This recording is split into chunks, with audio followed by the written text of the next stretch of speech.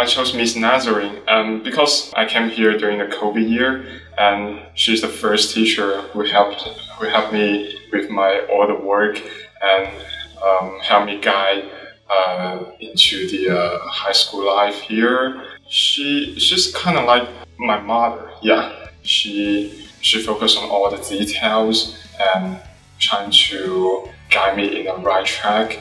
I just want to tell her that I will remember you forever, although you only teach me for um, no more than three years, but you helped me a lot.